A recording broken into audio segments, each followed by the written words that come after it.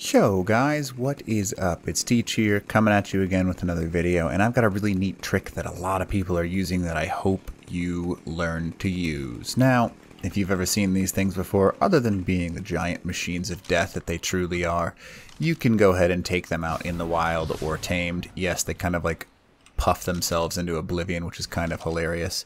But if you grab a chainsaw, now let's say you're lucky enough to have a better chainsaw, uh, I'm going to show you what a better chainsaw does in actual damage to these guys. But, and you go ahead and just chainsaw a dead Megachelon. You can get, give or take, with a good chainsaw, about 350 to 400 different shell fragments per time. Now let's say you just, even just a primitive chainsaw, on one, this is one time, so I'd like you to remember that, this is one times everything. You can get quite a bit as well. Um, it does get a little bit less overall, but you're still going to get a ton of shell fragments.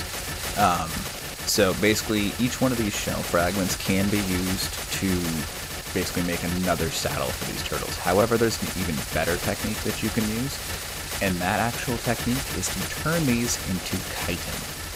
It's a crazy amount of chitin. So you can see there's 275. Not quite as much, but it's still a ton of shell fragments.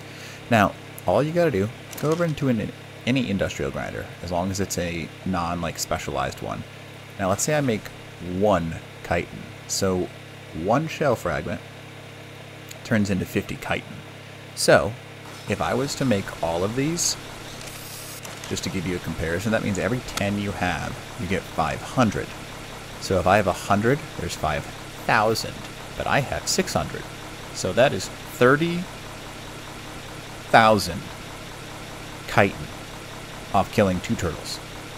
Now, obviously, the more turtles you kill, you can get even more than that, and it'll just keep going. Like, this is not a joke. This is an amazing way to get a load of chitin, which then means you can just mix it with a whole bunch of uh, stone and make yourself a ton of cementing paste.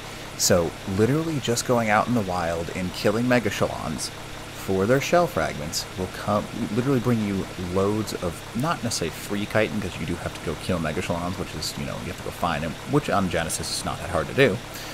You can come back with so much chitin that you can just pump out anything you need with chitin cementing paste or whatever you want. So just make sure you use any form of chainsaw when you're harvesting their bodies put those shell fragments inside of the indie grinder and then you just have a load of chitin. So, anyways, just a quick video. Hopefully it helps you out. And other than that, teach out.